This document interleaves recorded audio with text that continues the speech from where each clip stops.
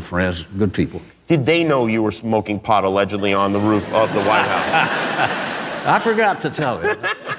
Willie Nelson became a major figure in the outlaw country music movement, which started in the late 1960s as a response to the more traditional and conservative Nashville sound. Willie's album Shotgun Willie, 1973, was a critical success, and it, along with the success of Red-Headed Stranger, 1975, and Stardust, 1978, helped cement his status as one of the most recognized artists in country music. Throughout his career, Willie has made strong connections within the country music world, including with Kris Kristofferson, another country legend. Kris embraced the outlaw persona in the 1970s, which helped Willie create Austin as a hub for country artists who didn't fit into the clean-cut mainstream Nashville style. Kris was part of the 1972 Dripping Springs reunion, a wild party that later inspired Willie's annual 4th of July picnic. He played at Willie's first picnic the following year and remained involved with the event for decades, performing at 16 of these picnics, with the last one being in Austin in 2016. However, recently, Willie shared some surprising news about Kris Kristofferson's life, which has left fans with questions and concerns about whether everything is going well.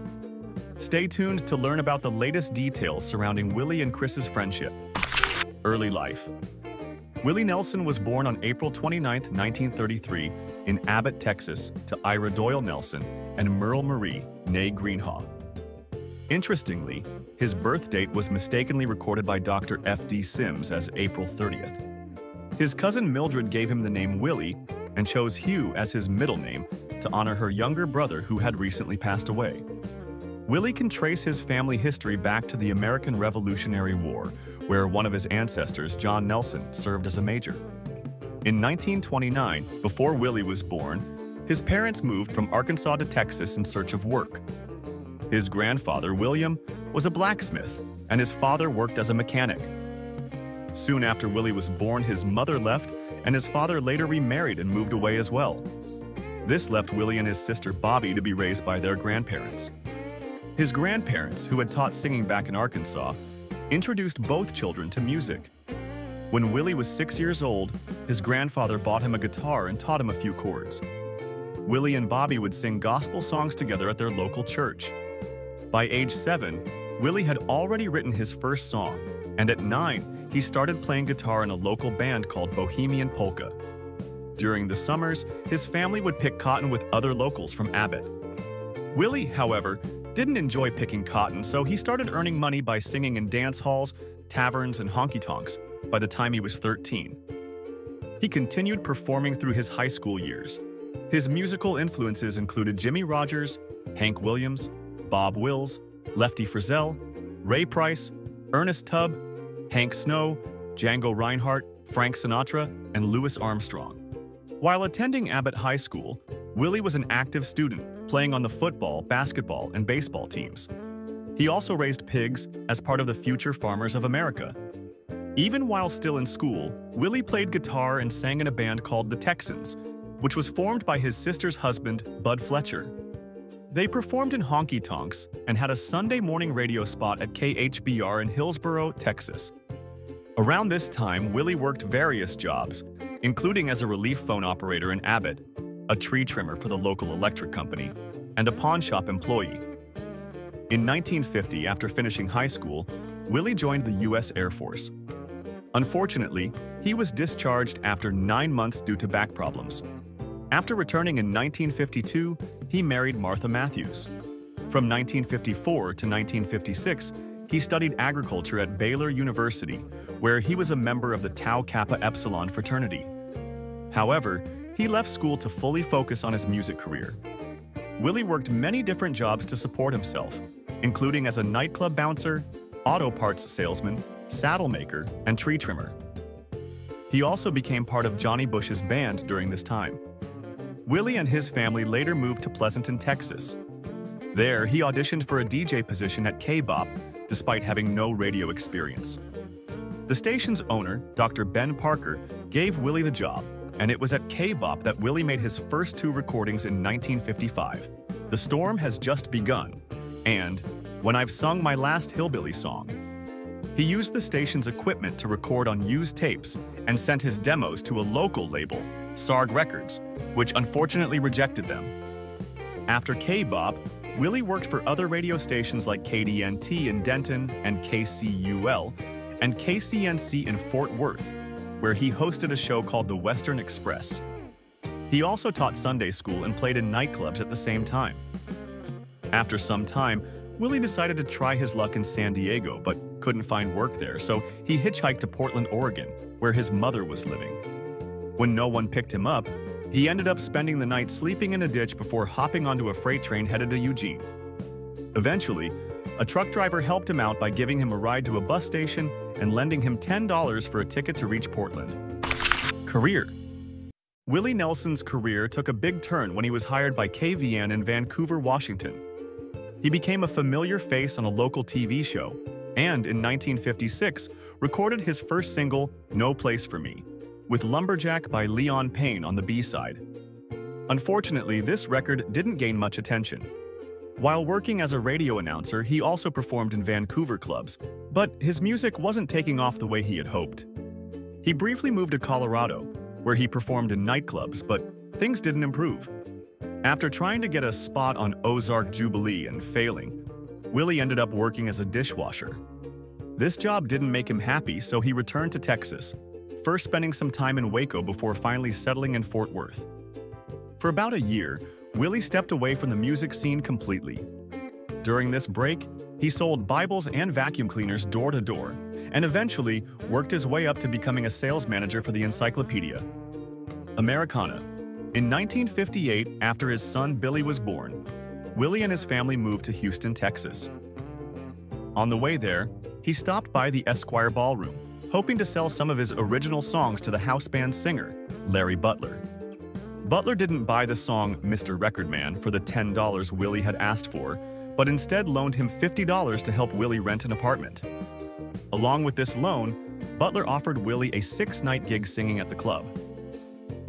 Willie soon settled into his apartment in Pasadena, Texas, and got a job as the morning DJ at a radio station. He also recorded a couple of singles during this time, including Man with the Blues and What a Way to Live. Around this time, Willie was hired by Paul Buskirk, a guitar instructor, to work as a music teacher at his school. Willie sold one of his songs, Family Bible, to Buskirk for $50. This song became a big hit for singer Claude Gray in 1960. Another song, Nightlife, was sold for $150 and also went on to be quite successful. In 1960, Willie made a big move to Nashville, Tennessee, hoping to find more success in the heart of country music. He had a hard time getting a label to sign him, so he spent a lot of his time at Tootsie's Orchid Lounge, a bar near the Grand Ole Opry where many famous singers and songwriters hung out. It was there that Willie met Hank Cochran, a songwriter who worked for Pamper Music, a publishing company owned by Ray Price and Hal Smith. Cochran liked what he heard from Willie during a jam session and convinced his boss, Smith, to use Cochran's raise to pay Willie $50 a week to sign him to the company. Faron Young, a popular country artist at the time, heard Willie sing Hello Walls at Tootsie's and decided to record it. Ray Pricey also recorded Willie's song Nightlife. At this point, Willie's songs started to gain attention from other artists, with hits like Funny How Time Slips Away by Billy Walker, Pretty Paper by Roy Orbison, and the most famous of all, Crazy by Patsy Cline. In 1961, Willie signed with Liberty Records and started recording at Bradley Studios in Nashville. His first successful singles were released the next year, including Willingly, a duet with Shirley Collie, who would later become his second wife. The song became his first top 10 hit, reaching number 10 on the charts. His second hit, Touch Me, climbed to number 7. These singles were part of his first album, And Then I Wrote, which came out in 1962. Willie and Shirley got married in Las Vegas in 1963. At this time, Willie was also working for Pamper Records on the West Coast but the job didn't leave him enough time to play his own music, so he eventually left and bought a ranch in Ridgetop, Tennessee, outside of Nashville. In early 1964, Willie was signed to Monument Records by Fred Foster, but only one single, I Never Cared for You, was released. By the fall of that same year, Willie moved to RCA Victor, signing a $10,000 per year contract thanks to Chet Atkins. His first album under this label was Country Willie, His Own Songs, recorded in April 1965. During that year, Willie joined the Grand Ole Opry and became friends with Waylon Jennings after seeing one of Waylon's shows in Phoenix, Arizona. In 1967, he formed his own backing band, The Record Men, featuring Johnny Bush, Jimmy Day, Paul English, and David Zettner. Although Willie's early years with RCA Victor didn't produce major hits, some of his singles did reach the top 25, such as One in a Row in 1966 and The Party's Over in 1967. By the early 1970s, Willie's career wasn't where he wanted it to be. Most of the money he was making from his songwriting was being poured into tours that weren't bringing in much profit. His personal life also hit a rough patch when he and Shirley Collie divorced in 1970. That December, his ranch in Tennessee burned down, and Willie saw it as a sign that things needed to change. He moved to a new ranch in Bandera, Texas, and married Connie Kepke. In 1971, his single I'm a Memory made it into the top 30. After recording his last single for RCA in 1972, Willie was frustrated with the lack of success his albums were having and decided to step away from music, even though his contract wasn't up. After relocating to Austin, Texas, Willie Nelson found a resurgence in his career, influenced by the growing hippie music scene, which embraced his blend of country, folk, and jazz. The change in atmosphere led to a surge in his popularity as he performed across the city. In March, he took the stage at the Dripping Springs Reunion, a country music festival that, although unsuccessful in drawing the anticipated crowd, sparked the idea for Nelson's future 4th of July picnic, a yearly event he launched the following year. Motivated by his growing success and reinvigorated passion for music, Nelson re-entered the recording business and brought Neil Reshen on as his manager. Reshen successfully negotiated Nelson's release from his RCA contract by paying $14,000 in dues. Soon after, Nelson became Atlantic Records' first country artist, signing a deal that paid him $25,000 annually. In 1973, Nelson recorded Shotgun Willie, an album that marked a departure from his previous style. Although the record didn't sell well initially, it received critical acclaim, and Nelson later referred to it as a moment of artistic liberation. His next album, Phases and Stages, released in 1974, was a concept album about the dissolution of a marriage, drawing from his personal experiences. The success of these albums laid the foundation for his contract with Columbia Records, where Nelson negotiated full creative control. This newfound artistic freedom led to the release of Red-Headed Stranger in 1975, a minimalist concept album that included the chart-topping hit Blue Eyes Crying in the Rain, Nelson's first number one single. At this point, Nelson, along with Waylon Jennings, was solidifying his reputation within the burgeoning outlaw country movement, a genre that stood in stark contrast to the polished Nashville sound of the time. Their collaboration on the album Wanted the Outlaws, 1976, became a landmark achievement in country music, as it was the first album in the genre to go platinum. Nelson followed this up with further success in the form of The Sound in Your Mind and his first gospel album, Troublemaker. However, Nelson's success wasn't without complications. In 1977, he discovered that Reshen, his manager, had failed to pay taxes to the IRS. This issue, compounded by a drug-related scandal involving a package sent from Reshen's office to Jennings, led to Reshen's dismissal. Mark Rothbaum, Reshen's assistant who took the fall for the drug charge, impressed Nelson with his loyalty and was hired as his new manager. In 1978, Nelson released two more platinum albums, Waylon and Willie, which included the hit Mamas Don't Let Your Babies Grow Up to Be Cowboys, and Stardust, an album of pop standards that many feared would ruin his career, but instead became a massive success. His string of hits continued into the late 70s with tracks like Good Hearted Woman and If You've Got the Money, I've Got the Time. The 1980s saw Nelson continue his rise to superstardom with iconic songs like On the Road Again, a track from the movie Honeysuckle Rose, and his duet with Julio Iglesias, To All the Girls I've Loved Before. In 1982, he teamed up with Merle Haggard for the critically acclaimed album Pancho and Lefty, and during those sessions, he recorded Always on My Mind, a song that would become a massive hit. Nelson's career reached new heights with the song, earning him three Grammy Awards in 1983 and solidifying the song as one of his most beloved. Nelson also became part of the supergroup The Highwaymen, alongside Waylon Jennings, Johnny Cash, and Kris Kristofferson, achieving both critical and commercial success. Throughout this period, Nelson became involved in a variety of charitable endeavors, including participating in the We Are the World project in 1984. Despite his fame, he maintained his laid-back rebellious image, which included a now famous incident where he reportedly smoked marijuana on the roof of the White House during a visit in the late 1970s. Nelson's journey through the 1990s and 2000s reflected his continuous dedication to music and philanthropy.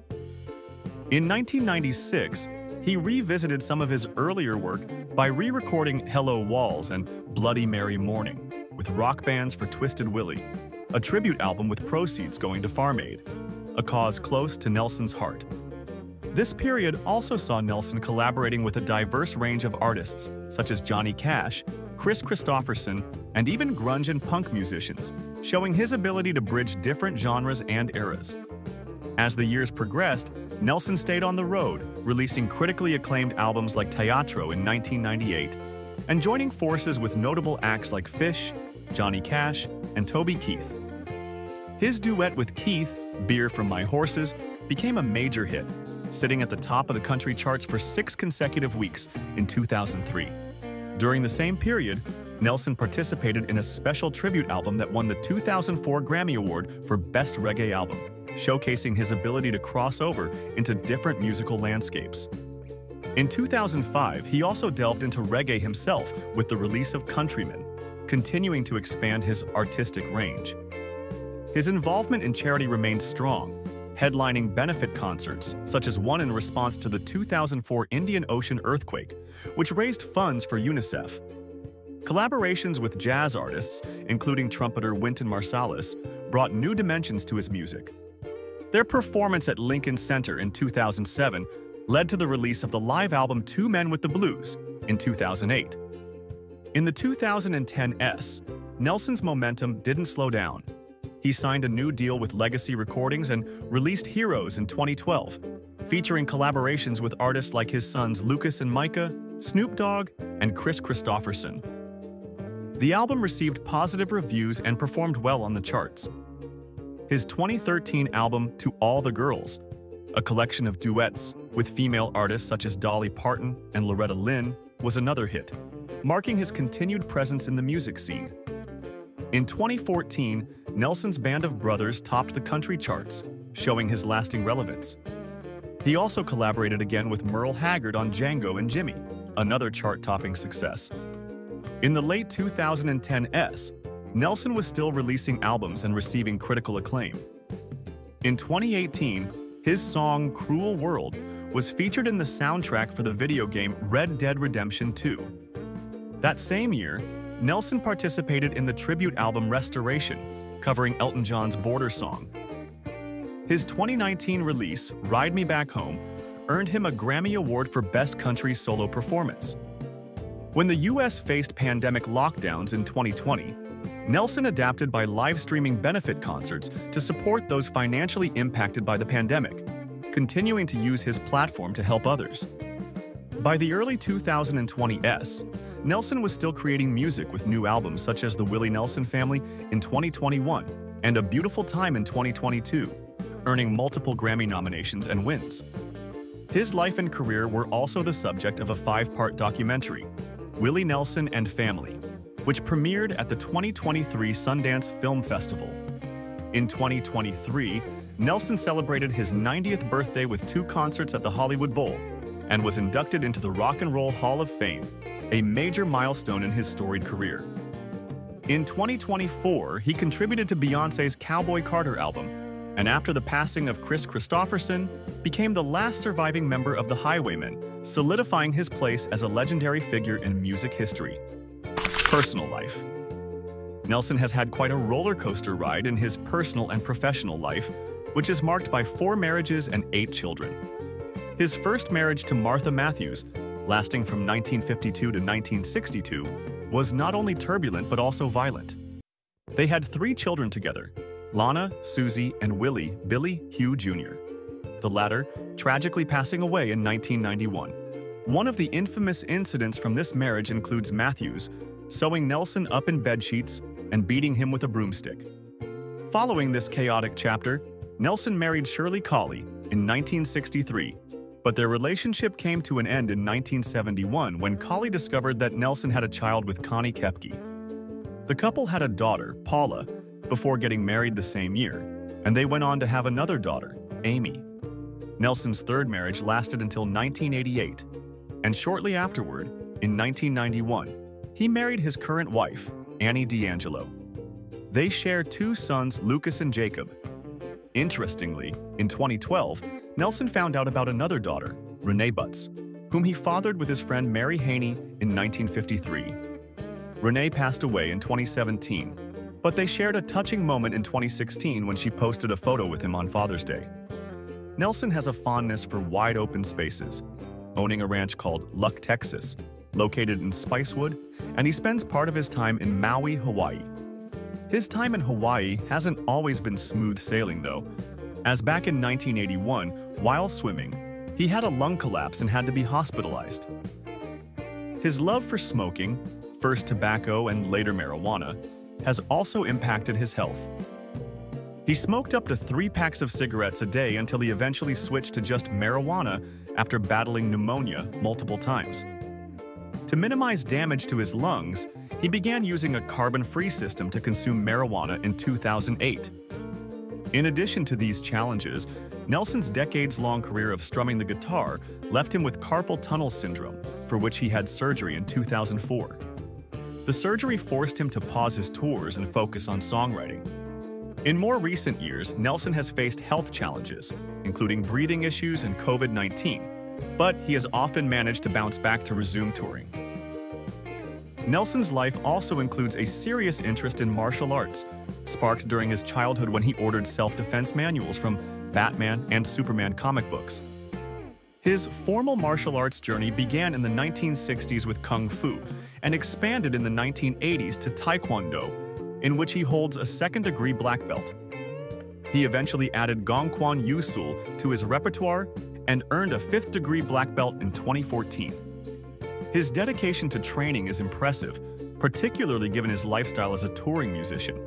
He would train on his tour bus, sending videos to his martial arts master for feedback. The legal system hasn't been unfamiliar to Nelson either.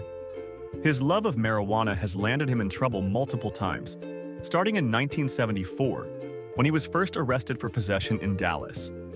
Another notable incident occurred in the Bahamas in 1977, where Nelson was jailed briefly for marijuana found in his luggage, but charges were later dropped.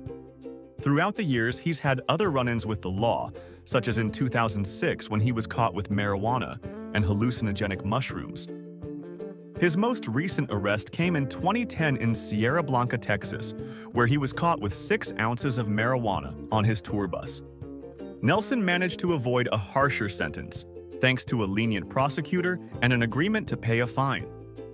In addition to his legal troubles with marijuana, Nelson also had a well-publicized fight with the IRS in the 1990s.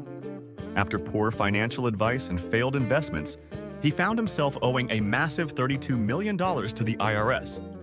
His lawyer negotiated the debt down to $16 million, and then eventually, Nelson settled for $6 million. To help pay off the debt, Nelson released a double album, The IRS Tapes, Who Will Buy My Memories, with all profits going directly to the IRS.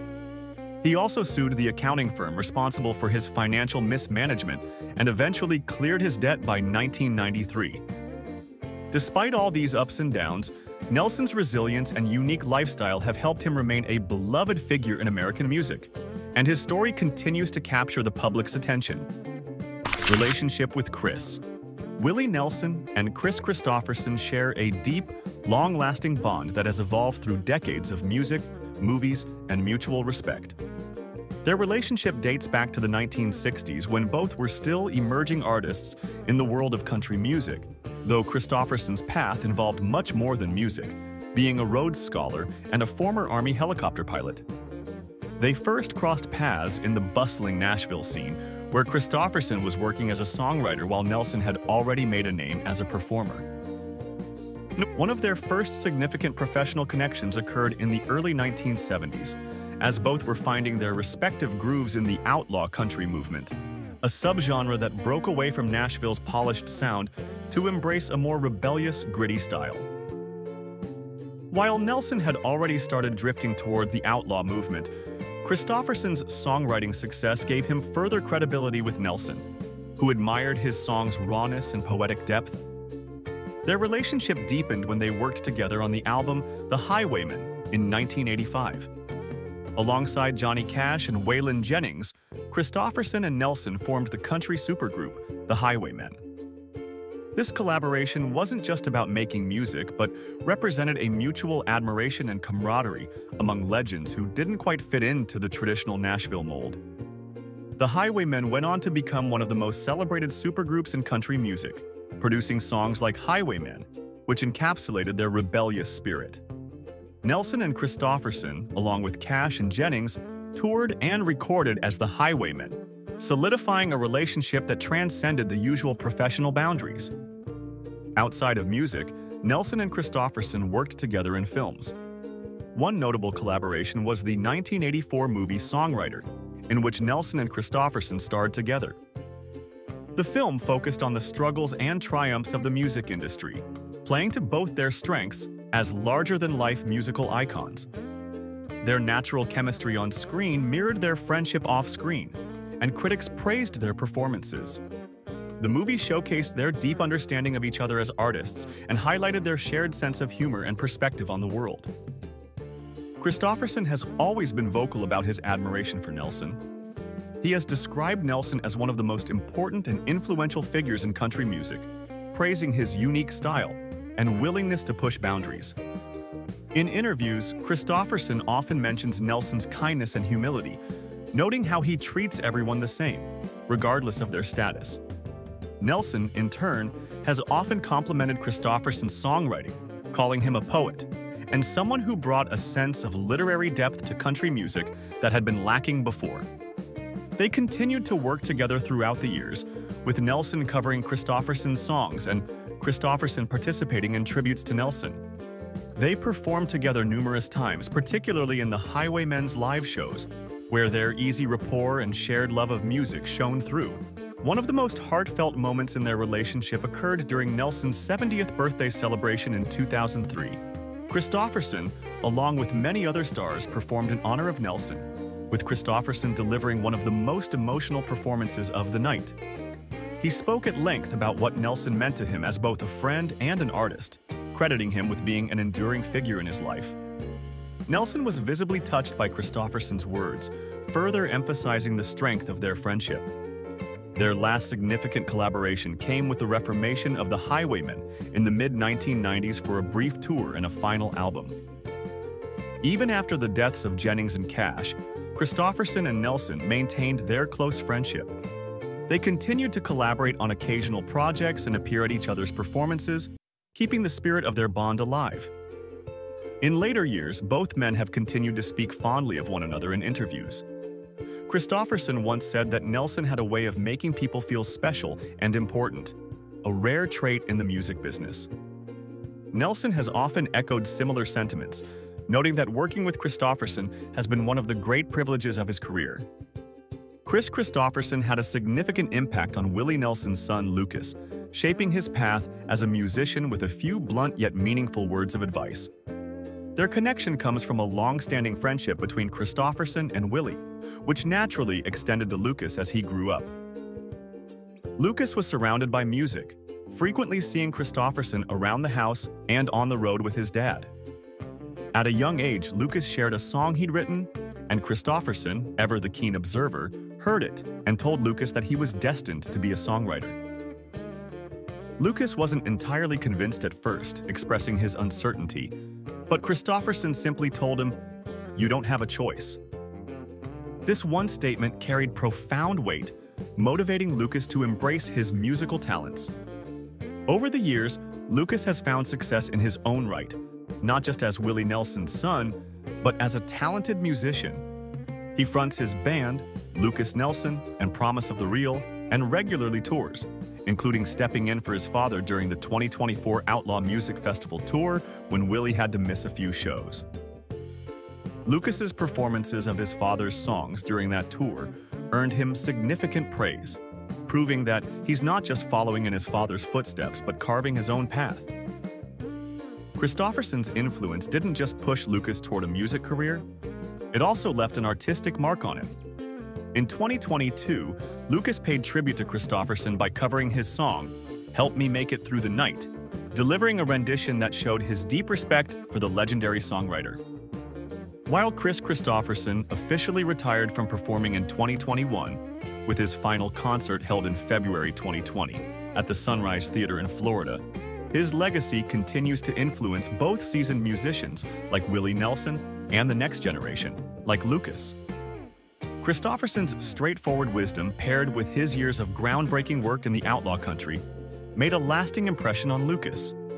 Whether or not Lucas would have pursued his musical career without that nudge from Kristofferson is unknown. But what's clear is that his mentor's words helped him see his destiny more clearly. Kristofferson's own career, marked by legendary songs and collaborations, is a testament to his place in country music history. His work with the Highwaymen, alongside Willie Nelson, Waylon Jennings, and Johnny Cash, remains a cornerstone of the outlaw country movement. His retirement may have marked the end of his performances, but his influence continues to ripple through the music world, inspiring artists like Lucas Nelson to carry the torch. The deep connection between Willie Nelson and Kris Kristofferson has not only shaped their own careers through friendship and collaboration, but also impacted the next generation, particularly Willie's son, Lucas Nelson. From their days together as part of the Highwaymen, Kristofferson and Willie forged a bond that extended to their families.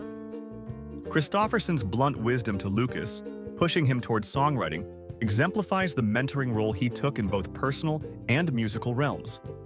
Kristofferson's influence, along with his legendary contributions to outlaw country, has left a lasting mark on the Nelson family, ensuring that his legacy lives on not only through his own songs but through those of the next generation.